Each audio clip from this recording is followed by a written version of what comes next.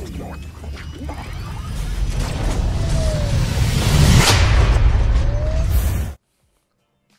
guys, what's going on with you? Um, and in today's video, I just want to talk about something that has been happening with COD for years and years and years. Honestly, this is nothing new to the COD community. If you have been around for a while, you would have seen exactly what I'm talking about. And if you haven't, this is going to really make everything come to mind. So, I started playing Call of Duty multiplayer round about Call of Duty 4 was when COD was super basic. It had perks that were very basic ones, just ones that either either give you more health, give you more penetration damage through walls, made you have more mags, and some of them made you reload faster. It wasn't any of this complex pro perks or divisions what you see now in these current new Call of Duties. And what we've seen in years and years and years of CODs is bad players being rewarded. Now, when I first started playing Call of Duty, which was in COD 4 World at War, you didn't get rewarded for being a bad player in Modern Warfare 2, you kind of got rewarded for being a bad player. So if you died six times in a row, I think it was, you got a perk called Painkiller, which was essentially a perk that gave you honestly, it's an insane amount of health for just your spawn time, which I guess it's not that too bad, but honestly, when you're on a 25 kill streak and you have been shredding these kids, you have spent hours and hours and hours into getting good at this game, just to then get somebody who's been rewarded for literally dying and has been given a death streak to then given more health and honestly, guys, Painkiller is so overpowered. Anyone who plays MW2, or even if you haven't, and you go back to playing it now, and you go come up against someone against Painkiller, you will realize how AIDS that really is. And imagine yourself being in a position where you're in a 25 kill streak, 24 even, you one off a nuke, and you come up against someone like that. Now that's just in Modern Warfare 2. In the other CODs, it's actually pretty decent, you know what I mean? Like MW3 had support streaks, but nothing was really too lethal other than the stealth bomber. And then you come to World War 2, and Advanced Warfare, which are both Sledgehammer game CODs. Now let's get in, into Advanced Warfare first. So you're probably thinking, hey, how did that reward people who aren't good at the game? Um, pretty much, skill-based matchmaking was a big hit of that. People don't play Call of Duty to get matched up and have a really competitive game. In fact, if you want to have a competitive game, there are separate play playlists for that. In Black Ops 2 there was replay, in um, the Sledgehammer Games COD Advanced Warfare there was a mode for that, in Black Ops 3 there was a mode for that, and in World War 2 there is still currently a mode for that which is called MLG Game Battles which a lot of the people who like to come up against people with similar skill levels to those guys and have a really competitive good match they can go in them playlists and do that.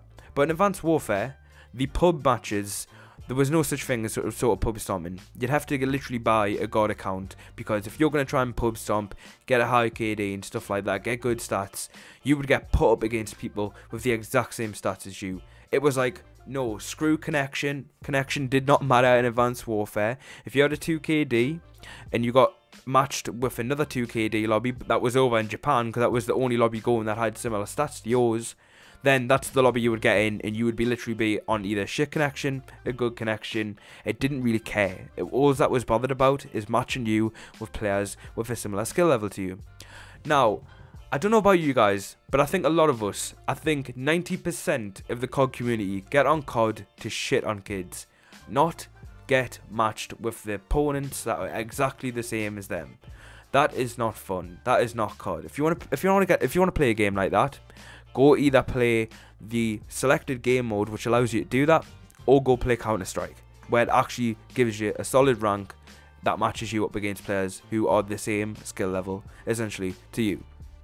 Now, in World War II, it isn't that so bad. It's not so bad at all, actually. Apart from requisition is the AIDS of World War II. The AIDS. Everyone who is shit at this game uses requisition.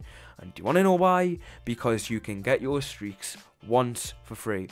There has been many occasions where I've either been streaking, I've been holding a dirty KD, I've been monstering an absolute beast mode gameplay that I was going to use for commentary at some point in stage, but instead the enemy teammates are using requisition and they are getting all their streaks and it just honestly melts you. Literally melts you. And I don't even know why there are perks like this that still exist exist in COD today. And now I'm not just saying this because I'm a salty guy. I've had to grind my ass off to get to the current point in stage that I'm at with COD. I have not been gifted it by giving skill-based matchmaking on my first COD. I have not been gifted it by giving death streaks on my first COD. I've literally created myself into this good player, decent player that I think I am in pubs. I know I'm not good in comp at all. I'm not saying I am.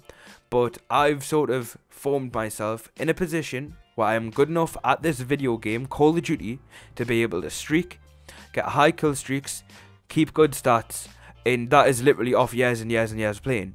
But what you've got is these shit kids coming in, being rewarded for being shit by giving kill streaks for free. And I just don't understand that whole concept of that.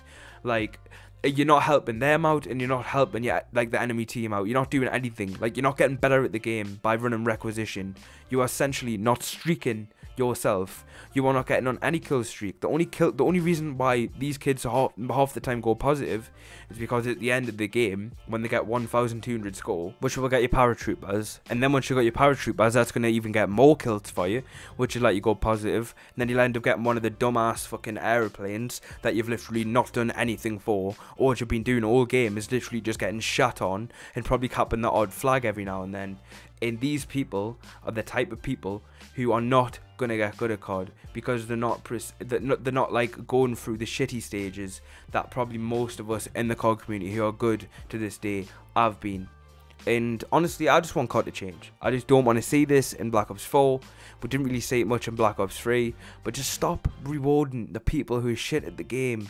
Like, honestly, god damn it, man. Like, I still haven't had, like, a V2 rocket yet and there's been some chances where I've been on 20 kill streaks, 25, 15 kill streaks, well not 25 because I'd obviously have one, but 15 kill streaks, and requisition is literally pulled my pants down and just bummed me off streaks. And it's actually getting annoying. And I've only been playing World War 2 for pff, I don't know god knows how long I say two weeks two weeks I've been straight grinding this game and I'm literally losing my shit because of this stupid little requisition perk so that is my rant for today, boys. I want to see what you guys think of this and if you agree, because I think a lot of us old school members who have been playing COD and have been around in the COD community for a while, we all know the grinding that we have to pull off to get to this stage of the game that we are currently at. So thanks guys for watching. I've been WhizXBL and I'm out. Peace. Catch you guys in the next one.